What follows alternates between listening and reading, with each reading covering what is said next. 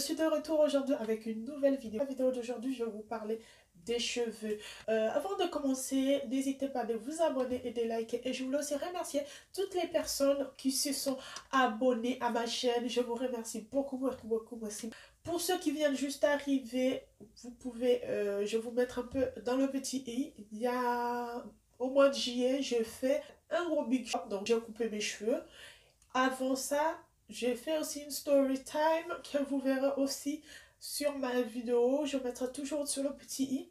C'est la story time qui explique un peu le pourquoi je coupe mes cheveux. Aujourd'hui, je voulais un peu parler un peu des cheveux comment ça a poussé, les produits que j'ai utilisés, ma routine un peu vite fait, même si je vous donnerai un peu plus de détails dans d'autres vidéos. On va commencer déjà au mois de juin, euh, je crois, je sais plus c'est quelle date précisément. J'avais coupé mes cheveux vraiment à la gassonne de juillet jusqu'à début novembre. J'ai gardé mes cheveux courts, donc cheveux poussent très très vite. Une personne qui a les cheveux qui poussent aussi vite que moi, surtout quand tu veux garder une coupe très courte, c'est pas du tout facile. Je devais aller au coiffeur après près tous les 15 jours si je voulais avoir, une tête vraiment propre. Début novembre, franchement, j'en pouvais plus. J'avais envie de changement. J'ai décidé de laisser pousser mes cheveux. J'ai pris aussi mon temps plus de connaître un peu mon type de cheveux et pour pouvoir adapter un peu des produits par rapport à mes cheveux. On en vient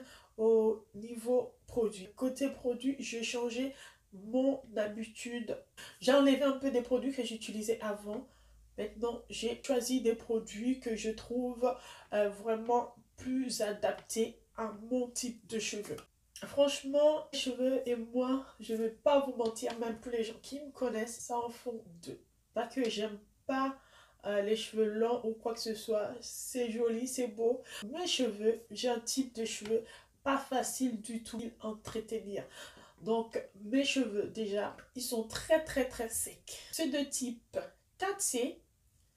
Ils sont volumineux aussi. Du coup, ça va faire moins 6 ans. Je coupe au moins une fois dans l'année mes cheveux. Pour connaître un peu leurs cheveux, je vous conseille de faire le test de porosité euh, pour pouvoir adapter votre euh, routine capillaire par rapport à vos cheveux. Franchement, moi j'ai dit, pour avoir des cheveux longs, il n'y a pas vraiment la magie. Personnellement, j'ai jamais pris des produits qu'on dit ça, tu mets en deux jours, tes cheveux arrivent jusqu'aux fesses, ou de, ou de compléments alimentaires pour faire pousser des cheveux. J'ai jamais pris ça de ma vie. Je pense pas euh, en avoir besoin. Et euh, j'ai fait déjà vos tests de porosité.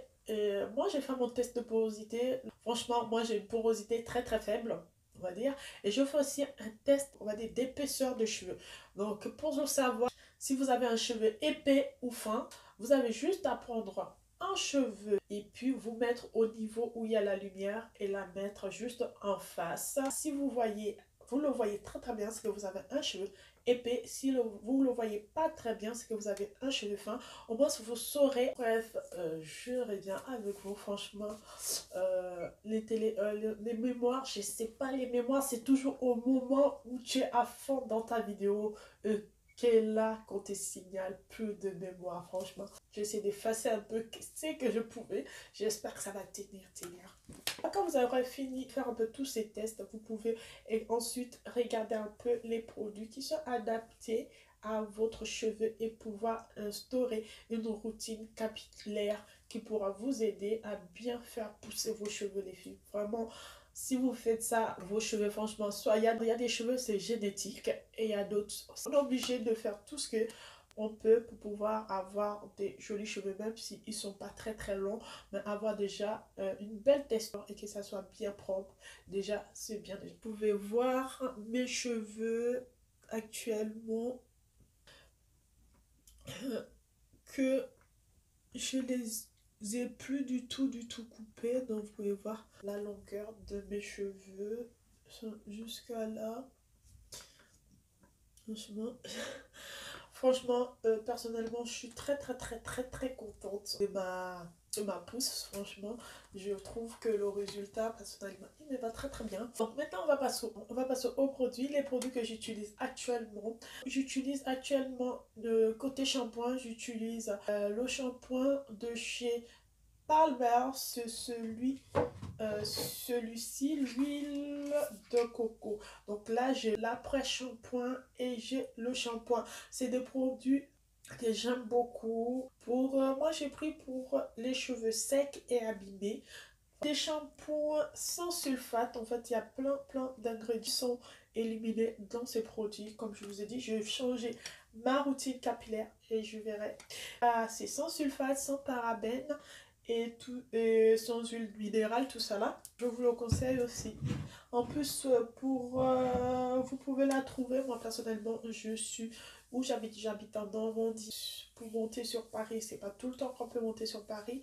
Et on n'a pas énormément de magasins où on peut avoir des choix sur les produits. Et même s'il y a des produits qu'on veut, euh, les prix sont pas donnés non plus. Euh, cette gamme, je l'ai eu à Carrefour pour ceux qui sont en province.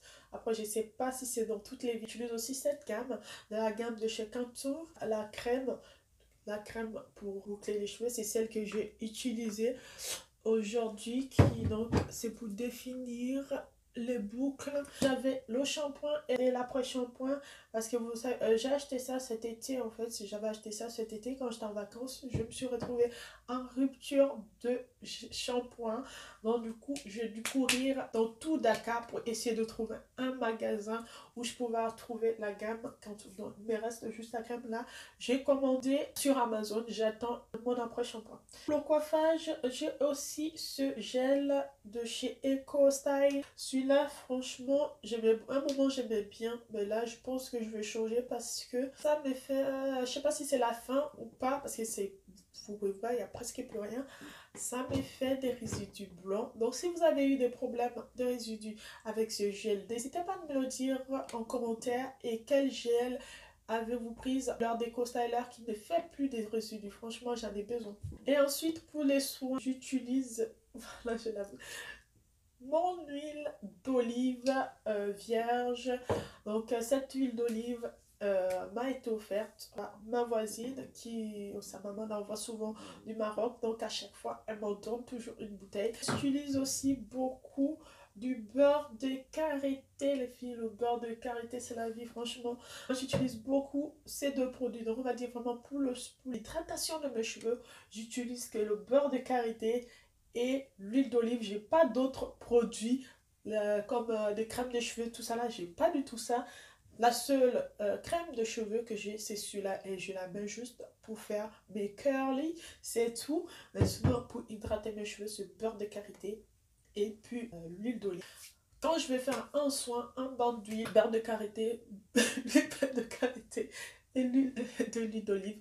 Je voulais aussi vous montrer aussi ça. Ça fait partie de mes, produits préférés de soins. Donc, c'est la gamme, c'est un masque de la gamme de chez Dark and Lovely. C'est un masque, on pose assez rapidement. On laisse reposer 5 minutes et on lave. Celui-là, franchement, je l'utilise vraiment quand je suis vraiment pressée. Sinon, j'utilise beaucoup de produits maison. Petites astuces de grammage, j'aime trop ça. J'ai décidé de suivre ma transition euh, capillaire avec vous. Tous les trois mois, on fera un petit point pour voir comment évoluer. Donc, regardez bien. Dans trois mois, on se retrouve avec un autre bilan et peut-être j'aurai testé entre deux d'autres produits. Ma routine entretien, j'ai fait au moins un masque par semaine et je fais un shampoing par semaine. Et pour mes cheveux, c'est encore court, donc encore du mal à faire euh, tous les trucs en fait.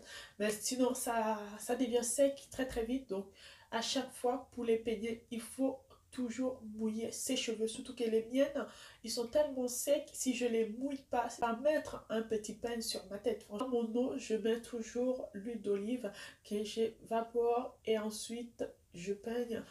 Pour peigner, j'essaye de faire des petites sections. Sur ma petite routine capillaire en plus, je fais toujours des coiffures protectrices. Donc, toutes les semaines, j'essaie de me faire mes petites tresses au fil.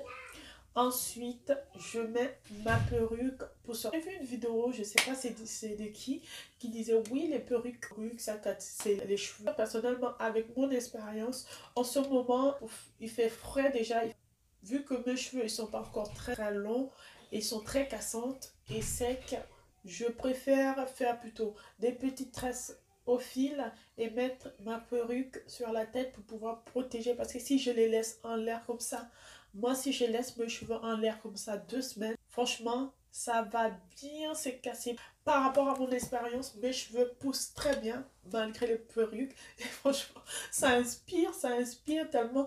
Il faut des perruques que je suis arrivée à une personne qui portait pas de perruque du tout. Je me retrouve avec quatre perruques. J'espère que j'ai rien oublié. Je vous dis à très bientôt pour une prochaine vidéo. Je vous fais des gros bisous.